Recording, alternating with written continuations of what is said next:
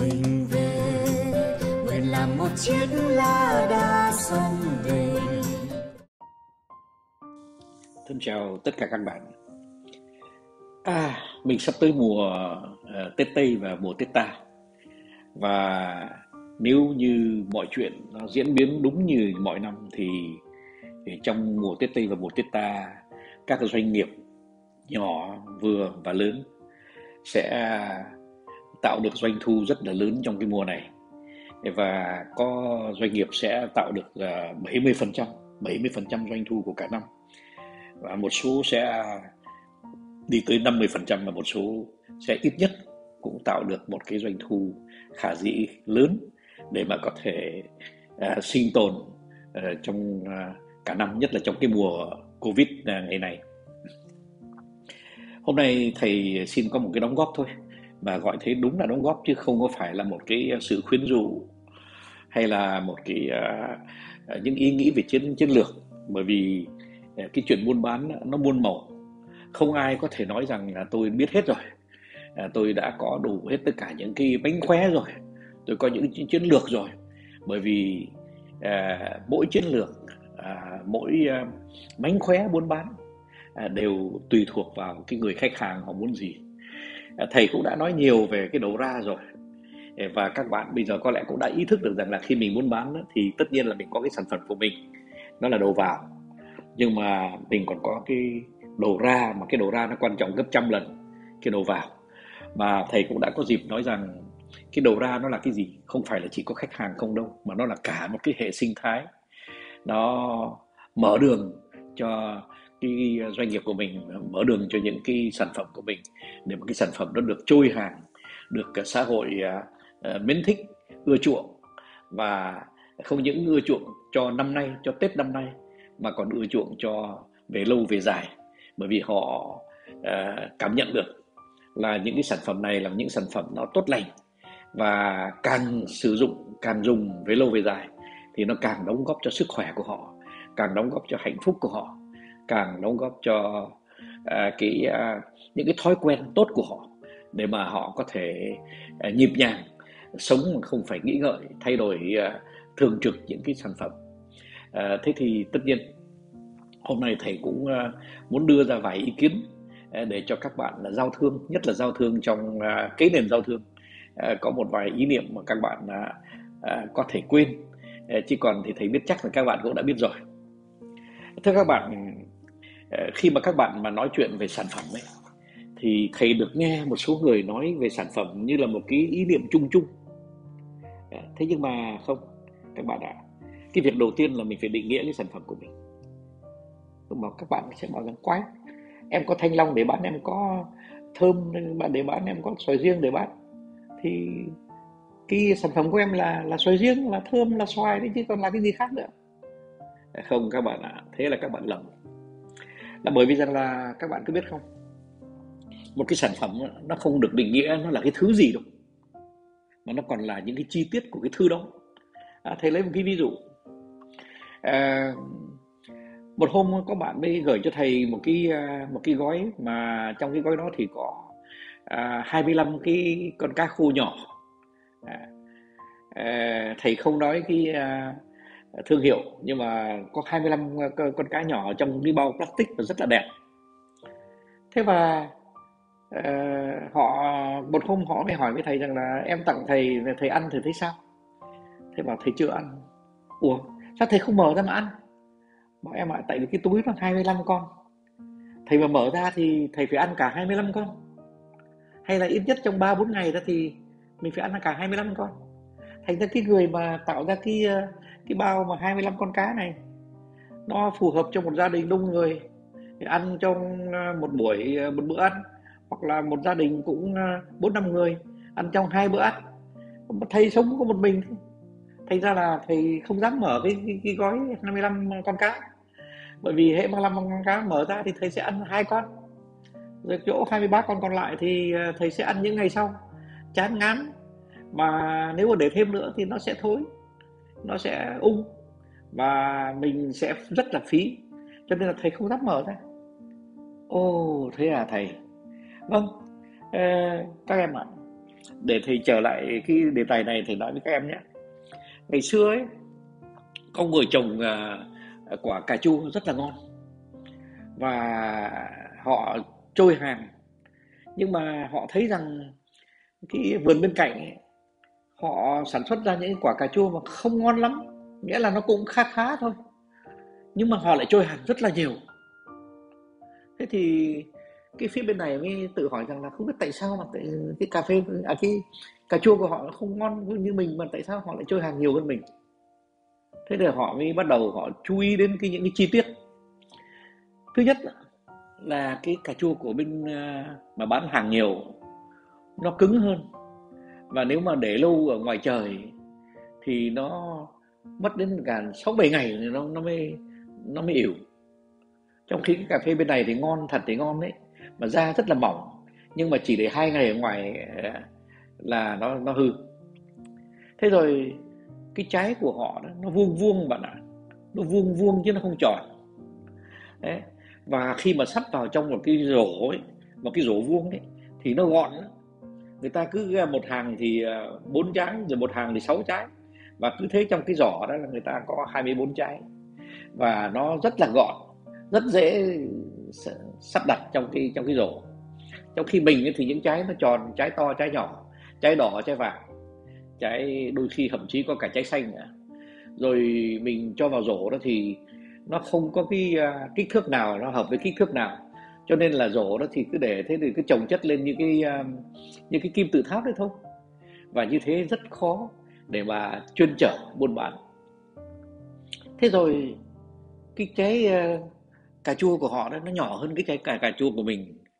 Ờ, trái, trái cà chua đó, đó nó rất phù hợp cho 10 người ăn. Nó rất phù hợp cho 8 người ăn. Nó rất phù hợp cho 5 người ăn. Nó rất phù hợp cho hai người ăn. Mà nó cũng rất phù hợp cho một người ăn trong khi cái trái của mình nó đỏ ửng mà nó đẹp như thế này nó nhưng mà nó to quá.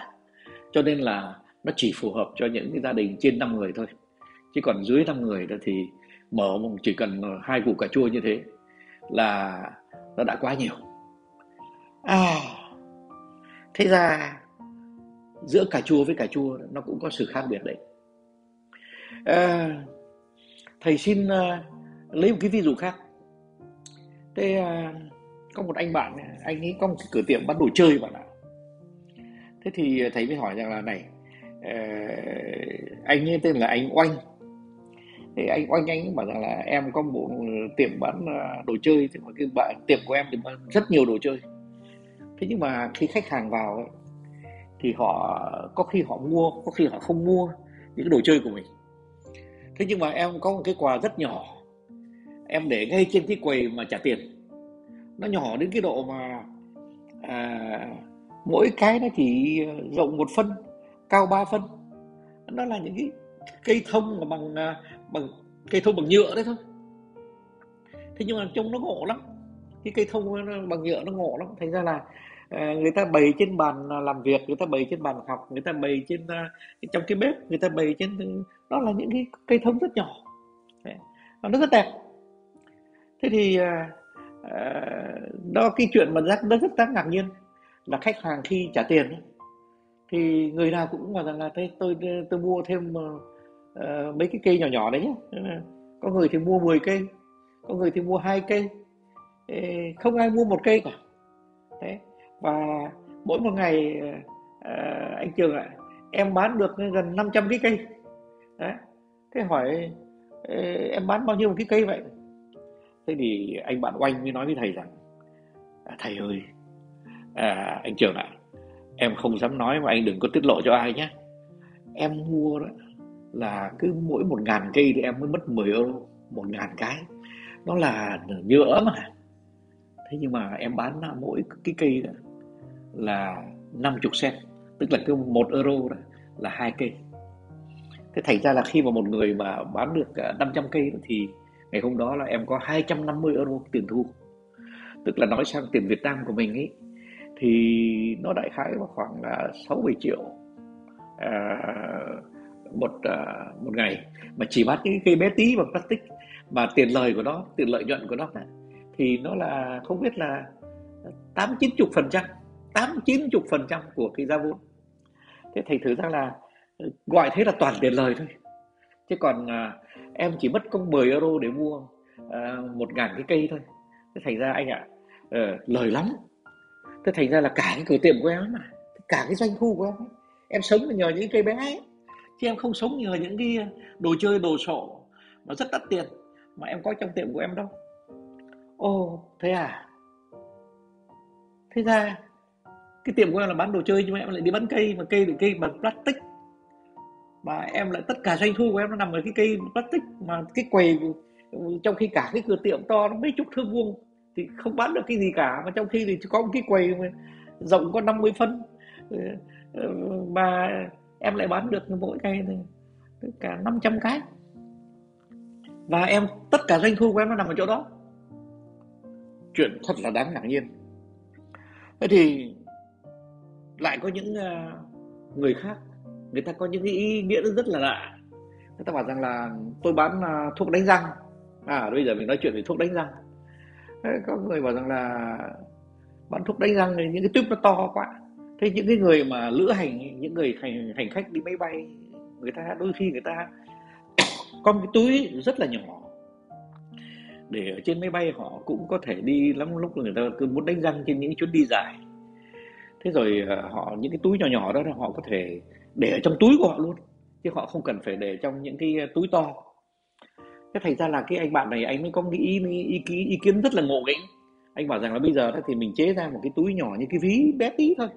Nhưng mà ở trong đó thì có cái bàn chải đánh răng này có cái cạo râu này à, có cái uh, tí nước hoa mà cái lọ nước hoa mà bé bằng cái đầu ngón tay thôi.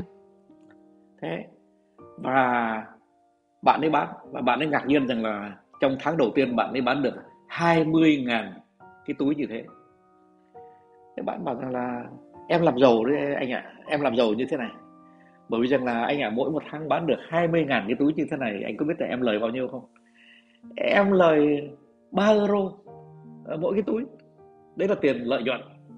Và em bán 5 euro một cái túi. Thì 5 euro đó anh ạ à, bán dễ lắm người ta dễ chi lắm. Đó. thế mà trong khi đó, đó thì em lời những 3 euro là thế thì cái công của em là cái gì đâu em mua một cái tuyếp ờ, đánh răng rất là lớn rồi, rồi em cho vào những cái tuyếp bé tí. Xong rồi em mua một cái lọ nước hoa ờ, rất là thơm. Em ờ, rồi sau em chia ra từng từng giọt từng giọt từng giọt vào những cái lọ nước hoa bé tí bằng đầu ngón tay. Thế rồi thế thế thì anh ạ à, em vốn trả là bao nhiêu? Mà em bán được rất nhiều. Mà cái bí quyết là bởi vì rằng là cái số tiền phải chi nó rất nhỏ. Và cái công dụng của nó nó rất là lớn. Và thậm chí nếu mà người ta xài xong sau một chuyến bay mà người ta không muốn giữ cái cái túi đó lại thì người ta cứ ném vào sọt rác thôi. Bởi vì nó chẳng đáng là bao nhiêu. Thế nhưng mà cái sự chẳng đáng là bao nhiêu? Nó là một cái túi mà nó tạo nên cái cái doanh thu của em đấy anh ạ. À. doanh thu của em đấy. Mà em chẳng có gì cả. Cả cái công xưởng của em nó to cái bàn. Nó có vài chai nước hoa và nó có vài tuyếp à, và sau này đó thì anh có biết không? Em bây giờ em có gần 50 thợ để làm chuyện này. Bởi vì là cái số người mua đông quá. Đấy. Và cái sản phẩm nó trôi nhanh quá. Thành ra đôi khi em lại phải có một cái đội để đi phân phối. Thưa các bạn, tôi nói những câu chuyện này để à, minh họa một cái gì? Chắc các bạn cũng đã đoán ra, các bạn thừa sức đoán ra. Đó là cho dù là chúng ta có một cái sản phẩm đó, nhưng mà cái sản phẩm đó nó không được định nghĩa là à, quả chua quả cà chua à, cái à, thuốc đánh răng. Không các bạn mà định nghĩa thế là các bạn chưa biết buôn bán. Các bạn phải định nghĩa rằng là cái à, cà chua này mà kích thước này là một loại sản phẩm kích thước kia lại là loại sản phẩm khác kích thước nọ lại là loại sản phẩm khác. Tức là cùng cà chua đó nhưng mà kích thước khác là một sản phẩm khác. Thế thành thử ra nếu mà bạn không bán được cái loại cà chua này cùng loại cà chua đó mà nó nhỏ hơn nó đẹp hơn, hoặc là cái cà chua đó nó có cái màu đặc biệt hơn, thì nó vẫn là một sản phẩm khác. Đừng coi thế là quả cà chua, bởi vì nếu mà bạn mà coi cái đó là quả cà chua thì bạn đã có một cái luận cục bộ. Trong khi khi mà bạn nói rằng cái quả bạc cà chua này nó nhỏ thì nó mới bán được, thì bạn có cái lý luận gọi là lý luận hệ thống. Hai chuyện hoàn toàn khác nhau. Bạn nghe chưa? Thế thì ờ, để trở lại cái vấn đề mà mấy cái tuyếp, thì nó có một cái chuyện là như thế này. Là uh, khi mà mình khởi nghiệp với cái đó mình xuất vốn rất là ít bạn ạ. Vốn rất là nhỏ mà mình dẹp cửa tiệm của mình nếu mà mình không buôn bán được ấy cũng rất là dễ dàng. Là mình quay sang một cái ờ, món khác. Tức là nói tóm lại cả cái nền buôn bán của mình ấy, nó nhân gấp 10 cái khả năng của nó. Nếu mà mình uh, nghiên cứu cái kích thước cái màu mỡ cái mùi mẫm à, cái à, tất cả những cái đó nó làm cho cái một sản phẩm mà một sản phẩm cô cô độc một sản phẩm và tục cục bộ nó trở thành những sản phẩm của một hệ thống buôn bán. Thế thì nói đến đó không biết là tôi đã nói rõ chưa? Nhưng mà bây giờ tôi lại lấy một cái ví dụ khác nữa để cho các bạn hiểu. Một hôm đó, đây là cái chuyện mà nó đã xảy ra cho tôi cách đây à, hai ba năm. Một hôm có một bạn bạn ấy mới tới là thưa thầy thầy à, là chủ tịch danh dự của câu lạc bộ khởi nghiệp. Thì em đem tới cho thầy một cái trái cam rất là ngon thầy ạ. À. à, thầy ơi ờ, thầy thử đi. Thế thì bạn ấy đem tới cho thầy mấy trái cam. Ôi chào ơi sao nó ngon thế được? Nó thơm quá nó ngọt quá. Thế nhưng mà xong rồi mình nhìn vào cái rổ nó biếu mình cái rổ. Trái to trái nhỏ trái quặt trái quẹo trái tròn trái trái vuông trái xanh trái đỏ trái hồng trái vàng. Trái à, à, thì có cuống à, cái thì không. Rồi à, à, thế thì tôi mới bảo rằng là các à, em có nhiều loại cam nhiều loại cam như thế này nhỉ? Không thầy ơi đây là cùng loại cam cùng cây cùng ấy cả đấy. Thế mà nhưng mà cái, chúng em thì cái cây nó lạ lắm mà các cái cây nó mọc không giống nhau. Rồi à, cam thì nó ngọt như nhau nó thơm ngon như nhau nhưng mà mỗi trái là nó có màu khác nhau nó có kích thước khác nhau nó có uh, mùi khác nhau nó có tất cả nó khác nhau. Thế mình bảo thế thế thì thế thì bây giờ làm sao em bán nhỉ? Làm sao em quảng cáo? Bây giờ em bảo cho cái nhà quảng cáo rằng là ờ, cái trái cam này thì em gọi thế là cái gì? Bảo là nó là gọi nó là cam ngon. Em nói thế là ai tin? Thế là tự nhiên các em mới bảo là thưa thầy hôm nay em học được bài học là mình phải làm những cái sản phẩm nó đều đặn theo thời gian thì mình mới có được một cái chính sách uh, kinh doanh bền vững. Chứ đâu có phải rằng là chỉ có trái cam ngon là được. Bởi vì nếu mình có trái ngon cam cam ngon mà mình tặng người hàng nhà hàng xóm thì nhà hàng xóm sẽ rất vui vẻ. Thế nhưng mà nếu mà mình muốn bán đại trà mình muốn bán à, một ngàn tấn mỗi tháng thì mình phải có những trái cam nó giống nhau. Nó kích thước luôn luôn giống nhau màu mỡ nó giống nhau mùi mẫm nó giống nhau và chất lượng đó tất nhiên là phải giống nhau. Nói đến đó thì các bạn đã hiểu hết rồi. Các bạn ạ à, vào mùa tết này này vào mùa Noel này này có khi các bạn ờ, bán một cái quà gì nho nhỏ một cái hoa nho nhỏ bạn không bán được thì có khi đổi kích thước bạn lại bán được. Có khi bạn lại bán một cái ờ, túi kẹo này nó hơi to quá. Thế nhưng mà bạn lại thu nhỏ nó vào thì có khi bạn lại có lợi nhuận cao hơn mà lại bạn bán rất rất nhiều. Thế thì tôi xin có một cái ờ, nhận xét như thế này này là các bạn ờ, có cái ờ, khuynh hướng tham lam. Cứ muốn nhét vào từng cái, những cái combo mà rồi cho rằng là mình combo mình càng to thì mình sẽ có những combo nó sáng giá hơn. Và người ta sẽ mua nhiều thì mình sẽ bán được cùng một lúc bán được rất nhiều. Bạn sai lầm đấy bạn ạ. À. tại vì rằng là nếu mà cái combo nó to quá thì không ai mua đâu. Và trái lại đó nếu mà bạn có những combo xinh xắn gọn gàng trông nó duyên dáng, có khi bạn bán được nhiều hơn đấy. Mà bạn đã ăn chắc một điều là khi mà cái gói của bạn nó nhỏ hơn, chắc chắn là cái lợi nhuận của bạn nó cao hơn. Mà bạn muốn bán là vì lợi nhuận hay vì doanh thu? Tất nhiên là phải cả hai. Nhưng mà tôi vẫn nói, cái doanh thu nó không quan trọng bằng cái lợi nhuận, bạn nhé. Bởi vì rằng là khi mà mình đầu tư một số tiền là một tỷ, thì mình mong là cái lợi nhuận đó là 25% chứ mình không mong là mình bán được, nhất cứ là nhiều nhưng mà mình vẫn mong bán nhiều. Nhưng mà cái lợi nhuận bao giờ cũng là cái quan trọng hơn cái doanh thu bạn nhé. Thế thì đây là một cái à, những cái điều mà tôi xin nhận xét để chia sẻ với các bạn nhất là các bạn trong kế đền sau thương. Mà tôi thấy các bạn vất vả đang chuẩn bị để đón Tết để đón à, Tết Tây để đón Tết ta với một cái tinh thần uh, rất là tích cực rất là nhiệt tình uh, rất là sôi bỏng thì chúc các bạn thành công và chúc uh, cái Tết Ờ, trong cái thời kỳ mới sống chung với Covid nó sẽ giúp cho các bạn bán còn nhiều hơn nữa ờ, trong một cái ờ, hoàn cảnh mà mọi người đều rất là khao khát có những sản phẩm đẹp, gọn, à, ngon, thơm à, và bền bỉ. Xin thân chào tất cả các bạn. nước yên bình khắp nơi chung lòng mình về nơi đây cái nghề